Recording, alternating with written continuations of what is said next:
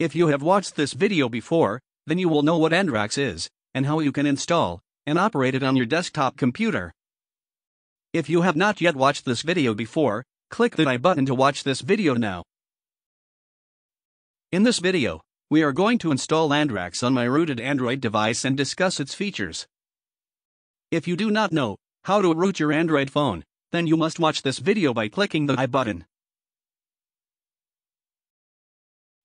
Before we proceed further, make sure you already have subscribed to my YouTube channel, if not yet to then click the subscribe button now.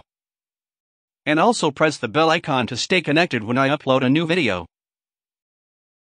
And one more important thing for all, you can find each of my topics from my blog.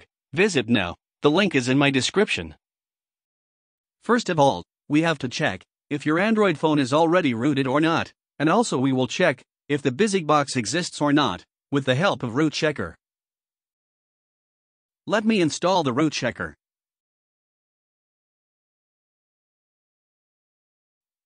Here click on Verify Root. As you can see my phone is already have rooted.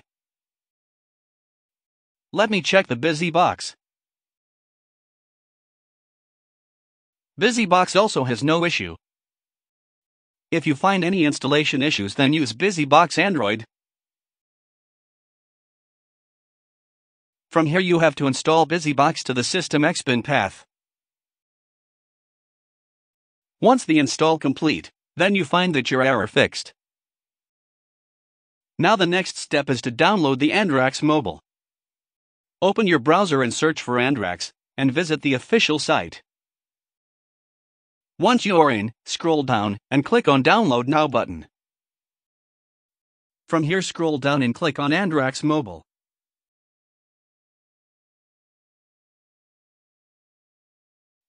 You can find the downloaded file in your download directory. Now we have to extract this zip file using an RAR extractor. Now check the box and click on Extract. It will take 5 minutes or more. Now, you can find out a new directory inside your download folder. Open the folder. Here you can find out three files.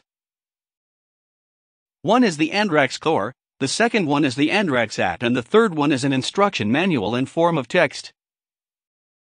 If you click on the TXT file you see the instruction. Now install the Andrax APK file. Here you can see, the app is installed. But Andrax is not yet fully installed, so you have to move the core file to the download folder of your internal storage. Remember one thing Andrax takes a huge amount of space which will be 22 gigabytes or more to complete the installation. So use an SD card and modify it to internal. Now go to the application menu and click on Andrax Hackers platform. Now grant super user permission to get started.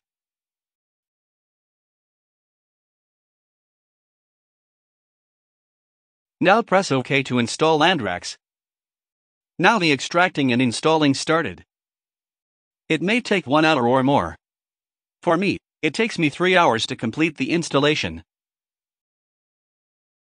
After completion, you can find out all applications by clicking the navigation button.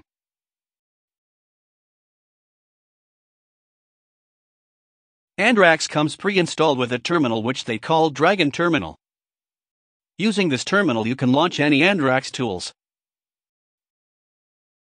You can find lots more tools from your application menu. Let me launch one of them. Here you see the manual of how to use this tool. Similar to the Andrax Desktop Edition, you can remotely access Andrax through VNC and SSH. To start graphical interface on Andrax, just run the sudo service vnc start command on the shell.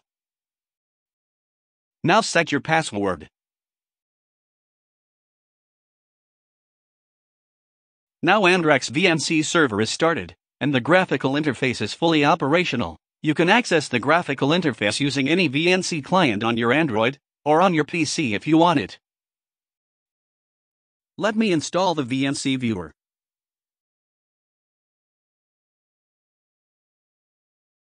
Tap on the plus icon to create a direct connection. Now here have the IP address, which is our local IP address. The port is 5901.